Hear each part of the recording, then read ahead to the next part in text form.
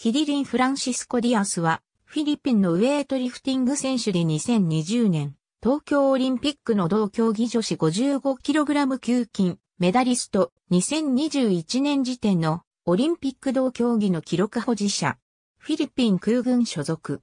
2008年北京オリンピックのウェイトリフティング女子 58kg 級最年少選手としてオリンピックに初出場。続く2012年ロンドンオリンピックの同種目にも連続で出場した。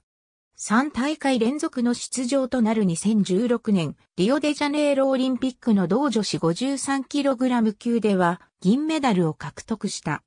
これは1996年アトランタオリンピック以来、フィリピン選手の20年ぶりのメダル獲得で、ウェイトリフティングでは初めてである。4大会目の2020年東京オリンピックの同女子 55kg 級では自己ベストを大幅に更新し、金メダルを獲得した。これにより、ディアスはフィリピン史上初のオリンピック金メダリストとなった。フィリピンが1924年にオリンピックに初出場して以来の同国選手の快挙である。2019年、フィリピンの政府報道官だったサルバドール・パネロが、ロドリゴ・ドゥテルテ政権の信用を失墜させる恐れのある危険人物のリストを公開した際、ディアスの名前がそこに含まれていた。後に、容疑者の一人からソーシャルメディアでフォローされていただけだとパネロより説明されたが、発表当時、ディアスはショックです。私と両親の安全が心配ですと語っていた。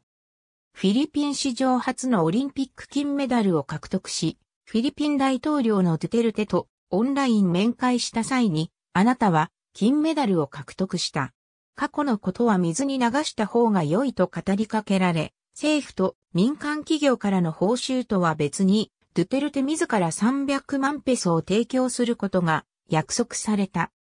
選手キャリアの初期にタイで開かれた2007年東南アジア競技会銅メダル、2008年にはウェイトリフティングユース、ジュニア、アジア選手権にサンボアンガ大学代表として出場し、金メダル2個、銀メダル1個を得ている。東南アジア競技大会同競技で金メダル、銀メダル、銅メダル。ありがとうございます。